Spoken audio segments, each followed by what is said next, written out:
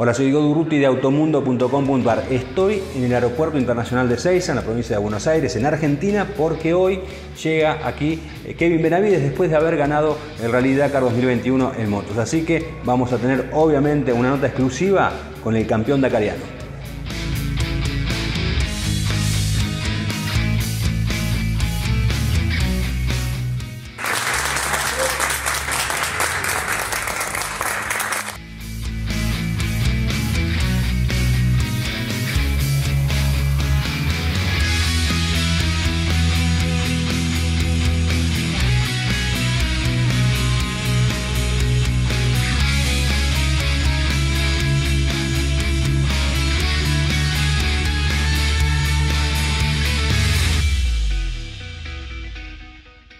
¿Qué se siente tener ese trofeo entre las manos? Muchísimas cosas.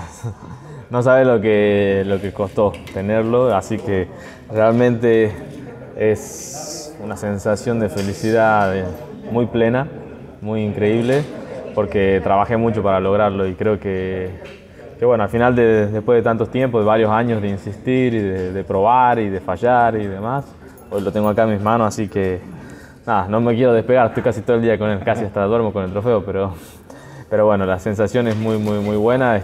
Esto recién pasó hace, llevamos dos días y, nada, es todo, es como que estoy cayendo, ¿no? De a poco, porque volviendo ahora a, Argentina, a mi ciudad y como que bueno, realmente notando un poco más todo lo que, lo que hicimos, pero para mí lo más importante era hacer historia y creo que acá está.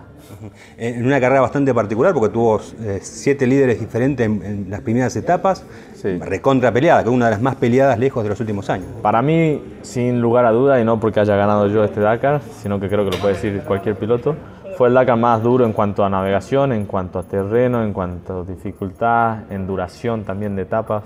Hemos corrido muchas horas, muchas más que años anteriores por lo cual ha sido un Dakar realmente muy muy duro en, en, todos los sentidos.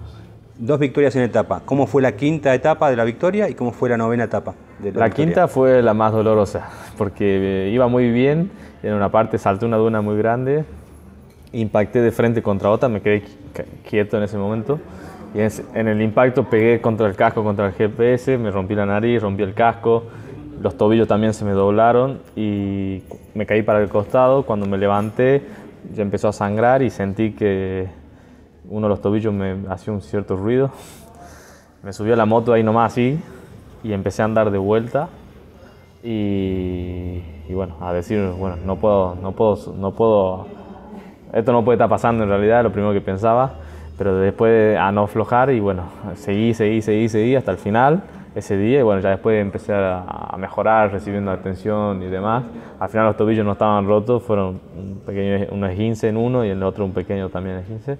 Pero, pero bueno, y en la 9 también fue muy especial porque era, se cumplió un año de la muerte de, de mi amigo Pablo Goncalves, por lo cual ganar esa etapa para mí era importante, así que ese día salí a hacerla y a ganarla con, con, con corazón, con ganas. ¿En algún momento de la carrera sentiste como que estabas fuera de la pelea?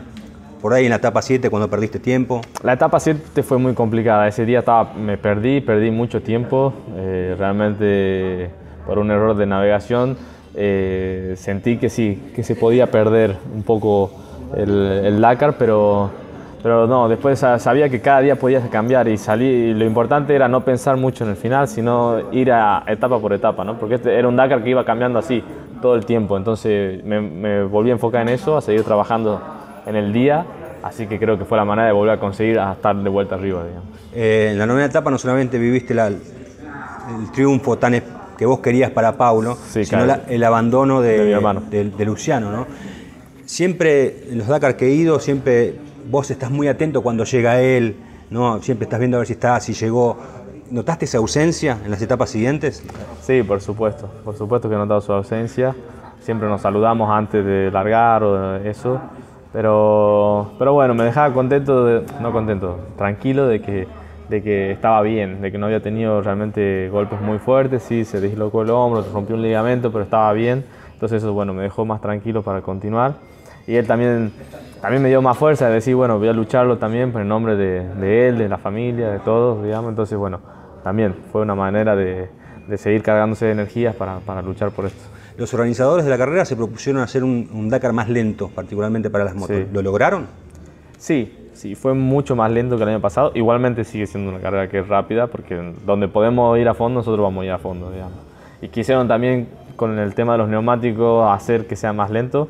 Fue una regla que tampoco para mí no funcionó bien, porque nosotros igualmente con neumáticos usados no íbamos igual de rápido, digamos, o sea, íbamos a acelerar igual. Así que, pero sí, tuvo un recorrido bastante más interesante, muy trabado, de mucha navegación, pero igualmente es una carrera que siempre va a ser rápida, digamos, ¿no? Pero, pero estuvo bastante mejor este año. En la etapa 11 veías las notas que te hacían y tenías un brillo muy particular en los ojos. Era como que te sentías ganador. ¿Me equivoco? Y yo lo deseaba, lo deseaba ya desde, varios, desde mucho tiempo, pero sabía que estaba muy cerca. Pero bueno, no podía pensarlo porque sabía que tenía que trabajar un día más y, no quería irme de ese, de ese foco, ¿no? que era lo importante. Yo creo que en este Dakar lo que, lo que marcó la diferencia era estar lo más tranquilo en cada una de las etapas, porque como fue una, una Dakar de mucho alto y bajo, en donde hubieron muchos, muchos que estaban liderando, después bajaban, se caían o lo que se perdían o lo que sea.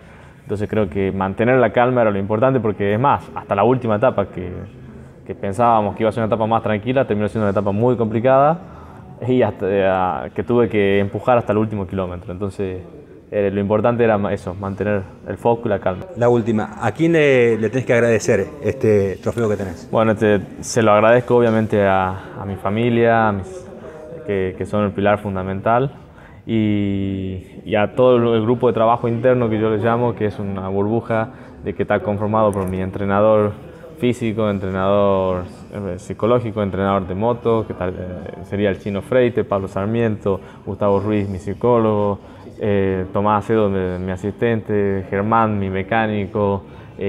son todas esas personas que trabajamos en el día a día para poder para llegar a esto. Mi hermano también, aunque es parte de, de, otra marca, pero también entrena conmigo y estamos ahí. Entonces, bueno, son y después obviamente a toda, toda la gente ya, a, los afectos, a los amigos, a novia y demás para que están al lado de uno. Y al público, a los fans. Y por supuesto a los fans, que realmente fue increíble la, la cantidad de, de, mensajes, de aliento, de energías que, que, llegaron. Eh, obviamente pido disculpas si no pude responder a todos, pero pero bueno, era difícil. Pero muchísimas gracias realmente a todos por el aguante. Conseguimos, ya tenemos. El beduino está en Argentina.